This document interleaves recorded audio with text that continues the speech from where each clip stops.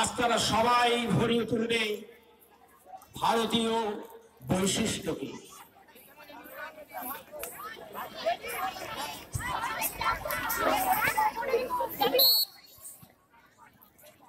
এরপর প্রস্তুত থাকবেন বংশীজি বালিকা বিদ্যালয়.